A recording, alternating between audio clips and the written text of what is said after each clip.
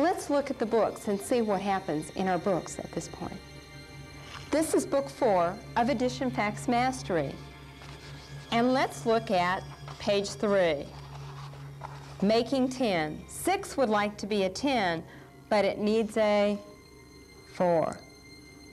Three would like to be a 10, but it needs a seven. It's written in, and now the child is doing it.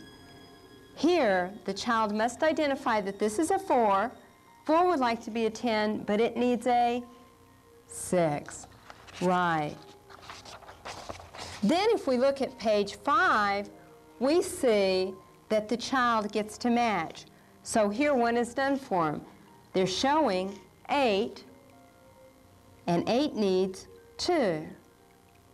Here we have a 4, and what would 4 need to be a 10? 4 needs a 6.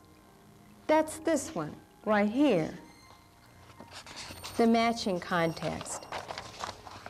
Here we do it with the numerals. 6 needs a 4.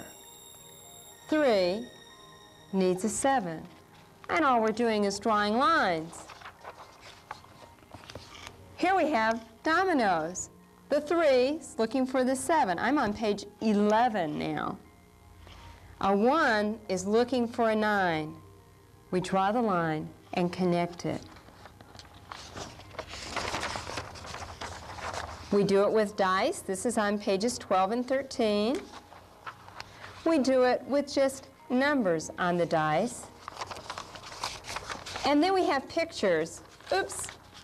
We have pictures showing balloons where the child will write the number of balloons that are shown and then match it to the number needed.